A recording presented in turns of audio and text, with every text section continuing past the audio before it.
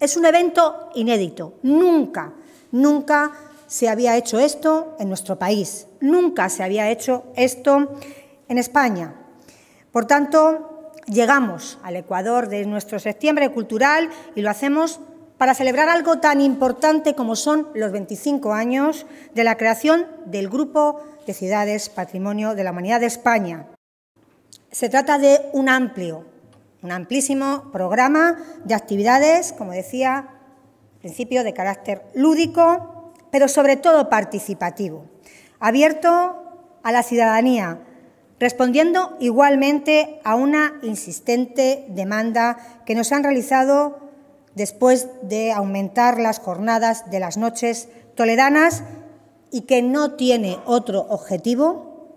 que disfrutar de esta gran fiesta del patrimonio, entendiendo no como una fiesta más, no entendiendo el patrimonio como un conjunto de piedras con historia, sino como algo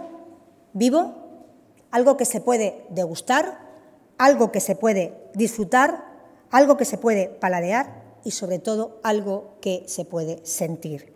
Realmente nunca 15 eh, ciudades tan importantes van a, van a, abrir esa noche la calidad y cantidad de espacios patrimoniales que somos el, tercer país del mundo con, patrimonio mundial para que libremente los ciudadanos las visiten, las disfruten y encima eh, espacios vivos con bandas de música, con actuaciones de danza contemporánea. Entonces realmente una fiesta para celebrar y simplemente agradecer y sobre todo muy importante, que también lo comentaba antes de entrar, el hecho de cómo como una piña están todos los colectivos aquí eh, representados, instituciones académicas, colectivos sociales, ciudadanos, más luego los voluntarios que se incorporarán esa noche y es lo que hacen a estas ciudades lo que son, que son ciudades únicas.